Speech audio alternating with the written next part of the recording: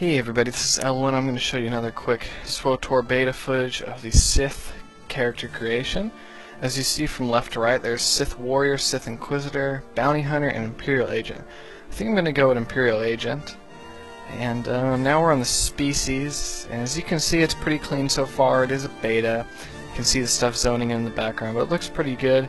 Some of the species, um, there's Cyborg, Chiss, Zabrak, I'm pretty sure the one on the left is human, so pretty basic um, Sith and just Star Wars in general races, but I'm gonna go with a. Well, actually, I don't know, but I guess I don't really want to be romancing the same sex, so I guess I'm just gonna go with a guy. But um, as you can see, Chiss are gross and ugly, but they fit the Imperial Agent persona relatively well. And uh, so when it comes to appearance, it's a lot more I guess you could say complex compared to other MMOs. The body type is relatively simple. You can pretty much, you can be, at least the guy can be extremely fat or extremely skinny.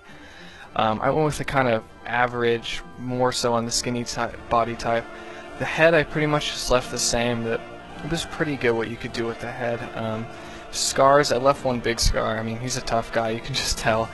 But anyway, there's a, there's a lot of scars combinations, believe it or not. Uh, complexion is there's a good amount of that. It's it's really personal. Like if you really get into it, uh, you can really have your character look a lot different than other people, even if they're the same race and same gender.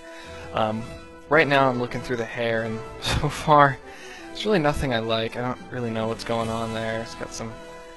That's ugly. That's just okay. What's up, Rastafari? Rastafarian Chiss. Okay. We got the uh, bald. Asian, no, Asian scenester, uh, preppy, hipster, Justin Bieber. Beautiful. I'm pretty, yeah, I, I like this. Looks decent, looks normal. Um, and you can go ahead and also after the hair there's hair color. Um, it's pretty good. I mean, it's not, no, you know, pink or green on the chest, but, and also uh, skin color is the last one, so it's a pretty foolproof. Um, character customization, but I figured I would post this video. I knew a lot of people were kind of curious, but there you go. Hope you enjoyed it and have fun.